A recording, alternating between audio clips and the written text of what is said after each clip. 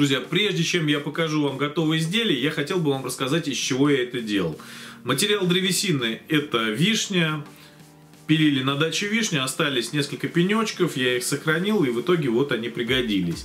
По поводу эпоксидки, очень долго я выбирал, потому что ни разу не пользовался ей, и в итоге мой выбор остановился вот на такой эпоксидке, называется она Organic Epoxy. Понравились отзывы на эту эпоксидку и цена. Приобрел себе небольшую партию, взял несколько килограмм эпоксидки и разные красители и спецэффекты, которыми я буду пользоваться не судите строго, потому что это мой первый опыт работы с эпоксидной смолой. Итак, поехали.